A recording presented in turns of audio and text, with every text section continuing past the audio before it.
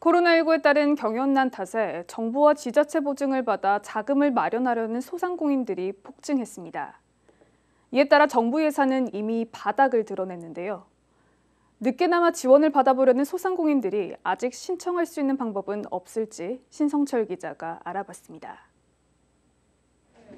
코로나19 사태 이후 정부와 지방자치단체들은 지역 신용보증재단을 통해 특례보증 사업을 벌이고 있습니다.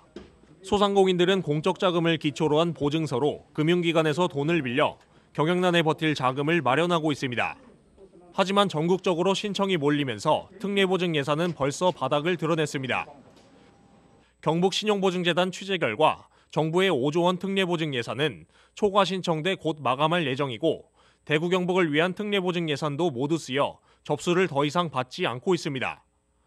경북도의 특례보증 출연액 1조 원도 접수를 시작한 지 닷새 만에 소진된 상태입니다. 경북 신용보증재단은 현재로선 시군별 보증사업에 지원해야 보증을 받기 수월하다고 안내했습니다. 경북도의 경우 김천시와 칠곡군, 울릉군을 뺀 시군 출연액이 일부 남아 있습니다. 지자체 보증 상품은 정부 상품과 달리 대출 후에 이자까지 지원한다는 장점이 있습니다. 또 전국에서 신청을 받은 뒤 지역별 실적에 따라 보증액을 나누기로 한 4조 8,500억 원 규모 기업은행 상품도 아직까지 신청을 받고 있습니다. 한편 각 시군에서 최근 카드 수수료 지원 등 지역 소상공인을 위한 추가 대책을 내놓고 있어 특례 보증과 더불어 지원받을 수 있는 사업이 있는지도 함께 확인해 봐야 합니다. HCN 뉴스 신성철입니다.